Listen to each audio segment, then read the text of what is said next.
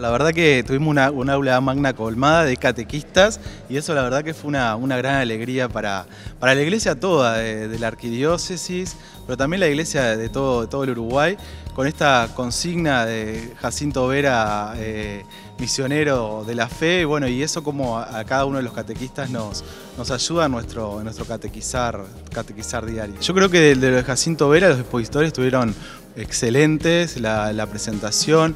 Me quedo con la palabra del cardenal de esto del, del, gran problema, digamos, de los catequistas, la secularización, ¿no? Y bueno, y cómo luchar nosotros, en el buen sentido, llevando el Evangelio ante un mundo tan secularizado. Eh, creo que es algo que nos, nos, nos, sirve para reflexionar como catequistas, pero siempre con la alegría eh, de la propuesta del, del Evangelio. La figura de Jacinto, a medida que la vamos descubriendo, es inspiradora de toda la acción de la iglesia, ¿viste? Entonces, además, bueno, el título de hoy es Jacinto Misionero de la Fe.